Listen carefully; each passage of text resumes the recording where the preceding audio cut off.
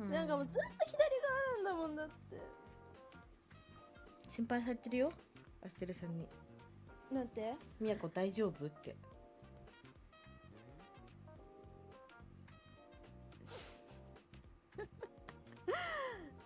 大丈夫。あ。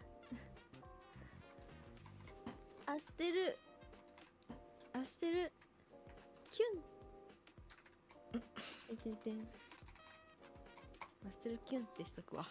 なんか私昨日みやこがなんかリリムちゃんとなんかアステルさんと3人でなんか Apex やってる切り抜き見たんだよね。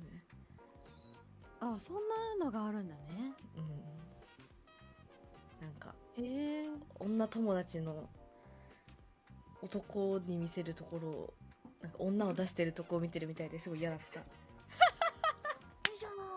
嫌な気持ちになっちゃったちょっと。